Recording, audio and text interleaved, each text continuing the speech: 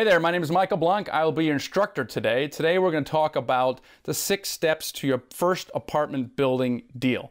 So mm, you're, you're obviously here because you're interested in real estate investing to do, so you're seeking passive income and long-term wealth.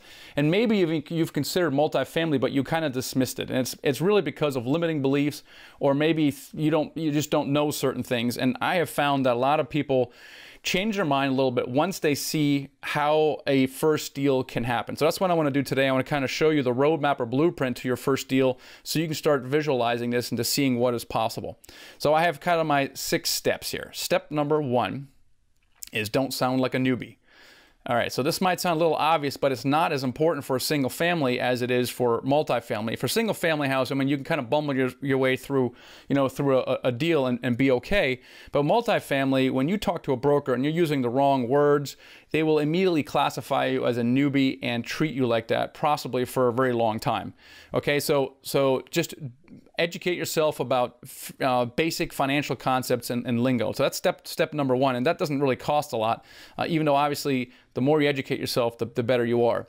Step number two, okay, immediately thereafter of basic education is you want to get good at analyzing deals, right? So real estate is a numbers game. It all it, it is, and, and this is not really a no-brainer. And when I first got started with multifamily, it took me four hours to analyze a deal. Okay, that's an, a long time. That's because I didn't have the right tools or the techniques. Okay, but it, now I know that I can do the same thing in 10 minutes. Okay, I call it kind of my 10 minute offer and it will allow you to make an offer on a deal within 10 minutes of getting a, a marketing package from the broker, right? So, um, uh, so that's now here's a side effect of getting good at analyzing deals, right? Is, is, is, it'll increase your confidence. So one of my students, Nick, he just told me the story the other day. When he would speak to potential investors, they would immediately ask him about his track record and his experience. And he went to a REIA meeting, and he had analyzed about a dozen deals now. And he went to a REIA meeting and the investors never asked him about his experience. And we kind of debriefed on this afterwards, and it, he he felt it was because his confidence level was so much higher. He was he he knew what he was talking about, and they the objection never came up. So what the side effect of analyzing deals allows you to make more offers, yes, but on the other hand, it increases your confidence, and that's why that is so important. Step number three, obviously, is once you know how to analyze deals, you need to create deal flow. And the best way to do that is via brokers. Now, there's all kinds of other ways you can do it. You can send postcards and yellow letters and pink letters, and, and you can do all this stuff, and those are all fine. But the, the vast majority of deals, and everyone will attest to this, comes from brokers. Okay, so you need to get good at calling brokers, um, contacting brokers, getting them to send you deals, staying in touch with brokers, and that's going to be your your lifeblood for your deal flow. And eventually, you will get to the point where the brokers trust you enough where they might actually give you an off-market deal. Right now, that's the holy grail of, of deals is to get an off-market deal. So number three is create deal flow. Right. Number four after you've done all that stuff is learn the secret to raising money. Okay, that's number four. You have a chicken and egg problem that goes something like this. All right.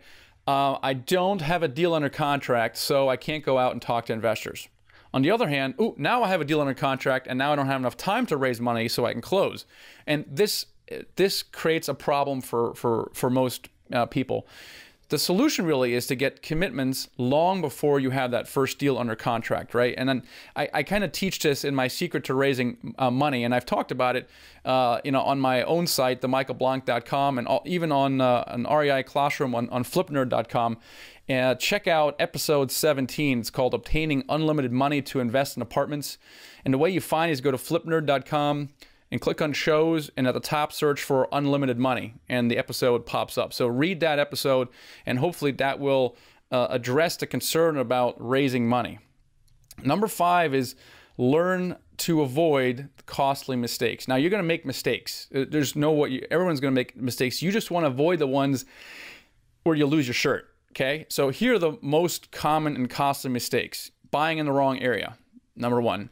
Uh, number two, not correctly analyzing deal and you know overpaying, or doing a deal that doesn't have enough cash flow, or not having enough cash reserves when you go into a deal. Uh, number five, not starting not starting the money raising process soon enough.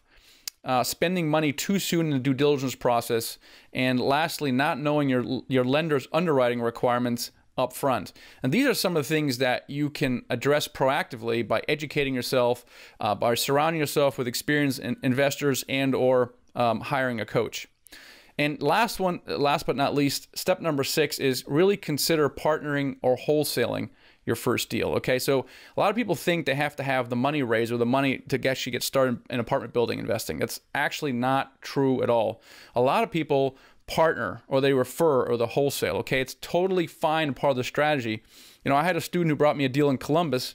He found it, he analyzed it, and he was he was getting close to a verbal agreement on a price that made sense. And at that point, he started reaching out to multiple people, not just me, other people who were looking for apartment building deal uh, apartment buildings, and he basically negotiated a referral fee, right? So we negotiated a referral fee of forty five thousand dollars for this for this thing, and and and and so don't dismiss that. If you can find a deal, analyze it, and start the negotiation process around the number that makes sense, that is valuable. Someone will pay you for that because it's so hard to find deals, right? So it's very easy for you to get some money up front, and you can say that you've actually done a deal, which you have.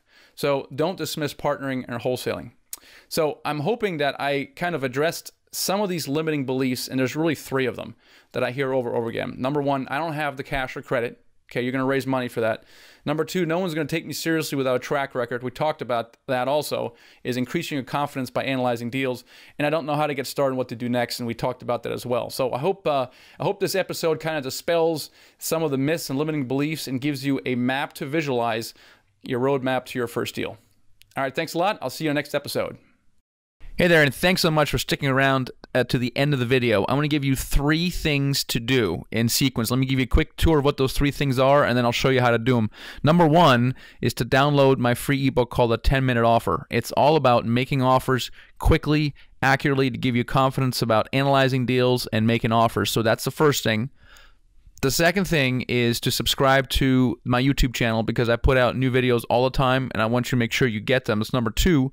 Number three is to watch the next the next video in line. All right, so uh, I'm to go give you a chance to do that right now. And when you click on one of these things, a new tab will open up, and uh, for the for the ebook. Okay, so click on the ebook, and new tab will open up. The video will stop playing. You can go back to the video and click on step two, which is subscribe to the channel. That'll open up a new tab as well. And then three is when you click on the last one to watch the next video in line. That'll open up in a current video uh, window. All right, I appreciate you guys, and I will catch you in the next video.